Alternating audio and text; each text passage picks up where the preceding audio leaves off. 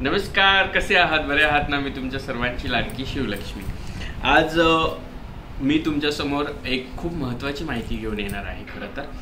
तुम्हाला माहितीच आहे की अनेक वेळा बोलण्यातनं तुम्हा सर्वांना माहिती असेल दत्त जयंतीला जोगती समाजाकडून जोगप्पा समाजाकडून एक सोहळा साजरा केला जातो. कंकण विमोचन सोहळा अर्थात कीच पौर्णिमा. तर ती कीच पौर्णिमा दोन दिवसावर येऊन ठेपलेली आहे. सतरा आणि अठरा तारखेला दत्त जयंती निमित्ताने जोगती समाजाची ही पौर्णिमा काय काय विशेषणं ठेवून केली जाते कुठल्या कारणासाठी साजरी केली जाते आणि त्यामागचा उद्देश काय आहे? आणि त्यातच आता मी वैदिक पद्धतीने विवाह केल्यामुळे कदाचित खूप जणांचा प्रश्न असेल तीन दिवसांसाठी मी जेव्हा विवाह झालेला असूनसुद्धा वैधव्य धारण करेन तर खूप जण प्रश्न विचारतील. तर त्याच प्रश्नांची उत्तरं देण्यासाठी तुमच्यासाठी ही पुढील माहिती घेऊन येते आहे. आपल्याला कंकण विमोचन सोहळा म्हणजे काय? अर्थातच कीच पौर्णिमा रांडव पौर्णिमा म्हणजे काय? हे सांगण्यासाठी आता श्री महंत ऋषिकेश नंदगिरी महाराष्ट्र किन्नर आखाड्याचे व्यवस्थापक तुमच्यासमोर येत आहेत. आणि ते तुम्हाला कुंकू कंकण विमोचन सोहळा म्हणजेच कुंकू पुसून देवीचं कशा पद्धतीने आम्ही शोक धारण करतो. देवीची प्रतिकात्मक शोकधारणेची शोक धारणेची ही प्रथा जी आहे ही परंपरागत चालत आलेली आहे. आणि तीच प्रथा कशा पद्धतीने जोगती समाजामध्ये केली जाते यासाठीचा हा सोहळा मोठ्या प्रमाणात महाराष्ट्राच्या कानाकोपऱ्यात केला जातो. अर्थातच देवी यल्लम्मा देवीचे हे जे मोती धारण केलेले असतात दर्शन धारण केलेले असतात या दर्शनांचं काय महत्त्व असतं आणि कशा पद्धतीने हा सोहळा साजरा केला जातो सांगतायत आता तुम्हाला श्री ऋषिकेश नंदगिरी नमस्ते जय अंबे जय श्री महाकाल. मी श्री महंत ऋषिकेश नंदगिरी कसे आहात आपण सर्वजण? आपण सर्व आनंदी असाल अशी मी आशा करतो. मार्गशीर्ष पौर्णिमा. दत्त पौर्णिमा सर्व दत्त भक्तांसाठी असलेली सगळ्यात मोठी पर्वणी. दत्त पौर्णिमेच्या आपल्याला खूप साऱ्या शुभेच्छा. या दत्त पौर्णिमेच्या दिवशीच खूप लोकांना माहिती आहे आणि खूप लोकांना माहिती नाही आहे. त्याचे बरेच वेळेला लोकांचे छोट्या छोट्या शब्दांवर अप्रभवंश पसरत असतात. तर नेमकी या दत्त पौर्णिमेच्या दिवशी अजून एक विशेष गोष्ट काय आहे आपण त्याच्याबद्दल बघणार आहोत. दत्त पौर्णिमा दत्त पौर्णिमेच्या दिवशी देवी भक्तांसाठी रेणुका उपासक जे आहेत ज्यांना जोगती म्हटलं जातं जोगप्पा म्हटलं जातं ह्या सर्व समुदायासाठी सुद्धा एक विशेष सोहळा असतो. ज्या सोहळ्याला म्हटलं जातं कंकण विमोचन सोहळा. रेणुका उपासकांसाठी हा दिवस मार्गशीर्ष पौर्णिमा म्हणजे कंकण विमोचन सोहळा असं म्हटलं जातं. आता कंकण विमोचन सोहळा म्हणजे काय? की त्या दिवशी देवीला वैधव्य येतं काही क्षणासाठी.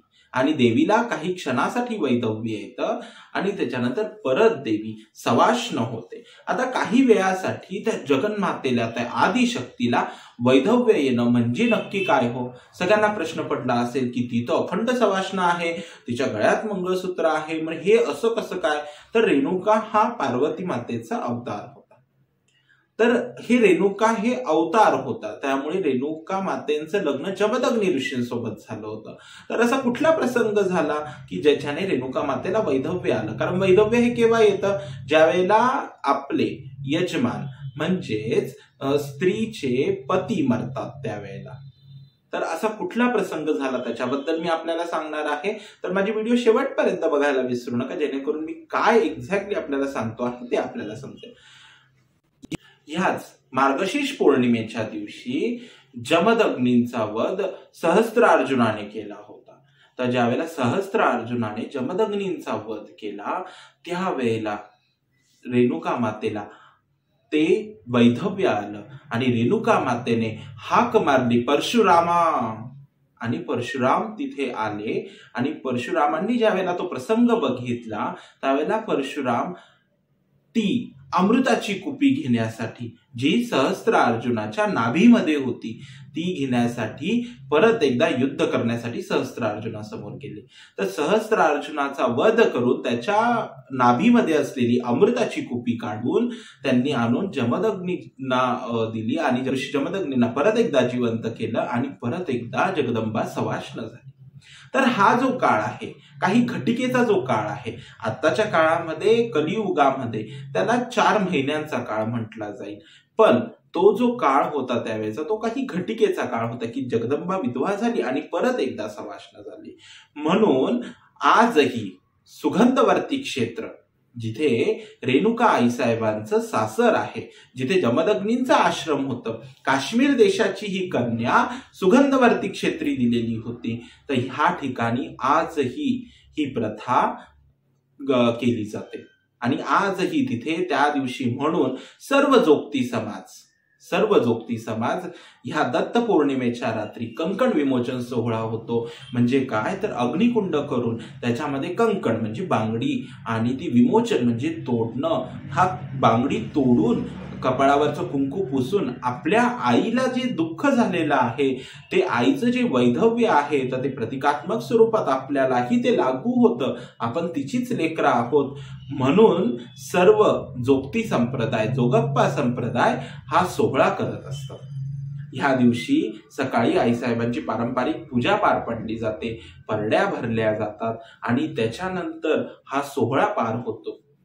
त्या त्याच्यानंतर देवीला सुद्धा देवीच्या सुद्धा कपाळावरचा कुंकू पुसला जातो भंडारा लावलं जातं देवीवरती एक व्हाईट व पांढरं वस्त्र टाकलं जातं आणि सर्व जोगती संप्रदायातली बांगडीचा विमोचन करून बांगडी तोडून कपाळावरचं कुंकू पुसून सफेद शुभ्र वस्त्र नेसले जातात बऱ्याच ठिकाणी कंकण विमोचन ह्या सोहळ्याला एक पारंपरिक शब्द आहे तो म्हणजे कीच किचाची पौर्णिमा. रांडव पौर्णिमा अशी खूप सारी वेगवेगळी शब्द आहेत ज्या त्या प्रभागानुसार ही होतात. तर हा कंकण विमोचन सोहळा जोगती संप्रदायासाठी रेणुका उपासनेतला एक खूप मोठा घटक आहे. अगदी जे रेणुकेचे कुळाचार ज्यांच्याकडे असतात त्यांना सुद्धा खूप कमी लोकांना हा सोहळ्याबद्दल माहिती आहे. तर त्या दिवसाची घटना फार मोठी असते. आणि म्हणतात आपण जसं म्हणतो की आई आणि लेकराचं नातं असतं. बस हे तेच आहे. त्या आपल्या आईला झालेलं दुःख. आईला तर जगदंबेला तर काही क्षणात नंतर परत सभाषण केलं जातं. पण हा दुखवटा किंवा हिरव्या बांगड्या नाही घालणं कपाळाला टिकली लावणं हा हिरव्या बांगड्या नाही घालण्याचं प्रघात चार महिने पाळला जातो. आणि परत एकदा देवी सवाष्ण मूळ स्वरूपात होती. म्हणजे देवीचं लग्न लागलं जातं. ते म्हणजे चैत्र पौर्णिमेला. तर असा आहे हा किताचा सोहळा. तर मी याच्याबद्दल तर असा आहे हा किचाचा सोहळा. तर मी याच्याबद्दल अजून विस्तृतपणे आपल्याला ऐकायचं असेल आणि विविध धार्मिक माहिती आपल्याला पाहिजे असेल धार्मिक माहिती आपल्याला जाणून घ्यायची असेल तर माझ्या व्हिडिओला लाईक शेअर कमेंट आणि सबस्क्राईब नक्की करायला विसरू नका. माझ्या व्हिडिओची लिंक डिस्क्रिप्शन बॉक्समध्ये दिलेली आहे.